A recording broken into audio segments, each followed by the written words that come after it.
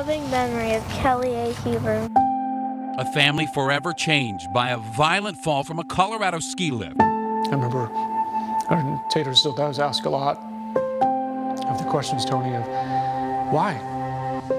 And why does this happen? Why would happen to somebody as great as my mom? Tonight, Kelly Huber's family invites us into their Texas home to talk about that day and the void this mother's death has left.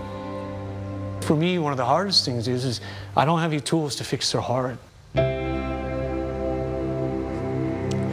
And tonight you will also see for the first time photos and video from that tragic day. Good evening. I'm Ann Trujillo. And I'm Shannon Ogden. We're very glad you're with us tonight.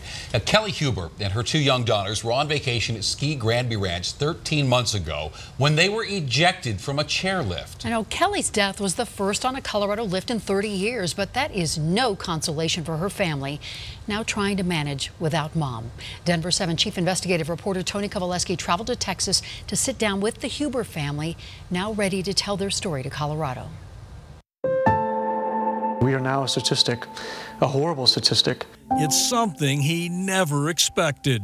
It should never happen. And if you knew about it, it should sure damn never happen. 40 year old Kelly Huber of San Antonio passed away after falling about 25 feet. A day, a date, and a moment that forever changed this Texas family. I just remember thinking, man, my life just turned upside down. A memory of a December morning, a little more than a year ago. That's Kelly Huber in the middle with her daughters Ashley on the left and Taylor on the right. A selfie taken at Ski Granby Ranch. I felt like, like at some point, these girls are going to ask me, Daddy, tell me about what happened. Bill Huber invited us to spend the day with him and his daughters Ashley and Taylor here at their home in San Antonio. Hi. Hey.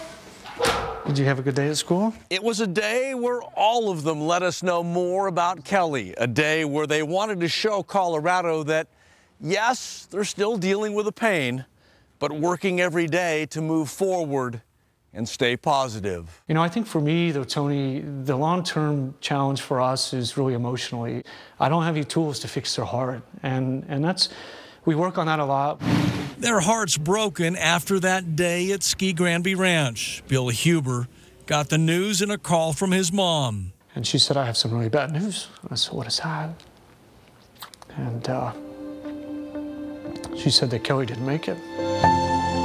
For the first time, we are getting a better idea of exactly what happened. This is video taken moments after Kelly, Ashley, and Taylor were ejected from Chairlift 58. Someone went down to get someone. A skier in the chair behind them capturing the seconds after the Hubers were violently thrown from their chair. You can see his chair still swinging and total strangers scrambling to help. It started swinging side to side. 10 year old Taylor has no memory of the crash. Her older sister Ashley has shared her recollection with her dad. Ashley uh, got very scared and shared with her mom, Mom, I'm really scared. And, uh, and Kelly told her that uh, it was going to be okay. And it started going even more side to side. And as she said, she said again, Mom, I'm scared. And Mom said it's going to be okay. And then they hit the tower. Kelly, Ashley, and Taylor fell about 25 feet to the icy snowpack below. Within seconds, other skiers tried to help. Then she heard them uh, scream out that uh, there's no pulse, no pulse. Um, and then, uh, then she said, Mom, it started beating on Mom's chest. So, so they were uh, trying to, to keep Kelly alive. We now know skiers and emergency responders spent nearly an hour trying to revive Kelly. Later that morning, Ashley told the sergeant what happened in the moments before the fall. We came up to like one of those big poles. Mm-hmm. And we hit it and we flew off. So you hit the pole with the chair? Yeah. All three were rushed to a local hospital. Ashley had facial cuts from hitting the tower, her left leg broken in three spots. Taylor had seven broken bones and two organs that were not properly functioning. Their mom, Kelly, died from the blunt trauma, the coroner finding a torn aorta. Her death caused from that 25 foot fall. She was an amazing woman in so many different levels, and really, you know, the world has lost one of our better ones, and um, and we miss her every day. I miss her every day. The girls, we talk about her every day. We planted the tree, and uh, really, in remembrance of her, it's actually her favorite tree.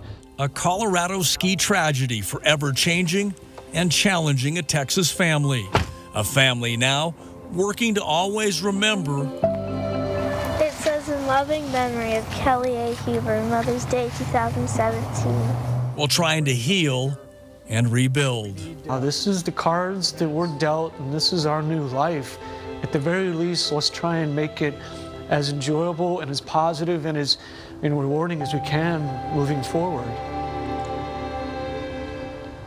And Tony says the Huber family wanted to share a message with all of us here in Colorado.